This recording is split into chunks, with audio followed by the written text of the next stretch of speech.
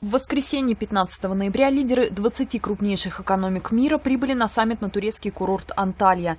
На фоне смертоносной атаки радикальных исламистов в Париже, унесшей жизни около 130 человек, обсуждения первого дня были полностью посвящены вопросам международной безопасности и борьбы с терроризмом.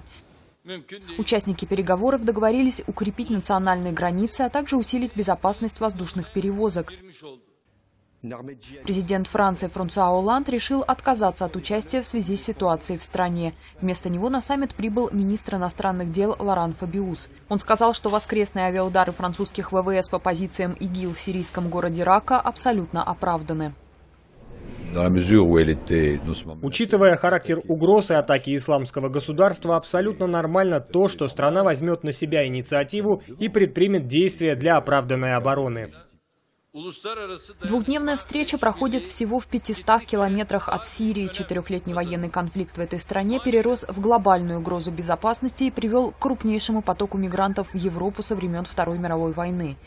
Теперь западные лидеры встали перед вопросом, как отреагировать на действия исламского государства. Эта радикальная группировка захватила обширные территории Ирака и Сирии, однако ее действия уже вышли далеко за пределы этих двух стран.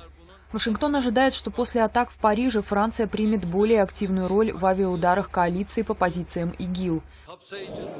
В ходе саммита прошла неформальная встреча президентов США и России. Как предполагается, они обсудили борьбу с исламским государством, в которой с недавнего времени принимают участие и российские ВВС. При этом они действуют на стороне Башара Аль-Асада. Западная коалиция же, наоборот, стремится к отстранению сирийского президента от власти.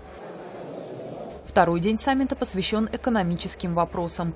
Лидеры обсудят устойчивость мировой экономики, модернизацию налоговой системы, а также торговое и энергетическое сотрудничество.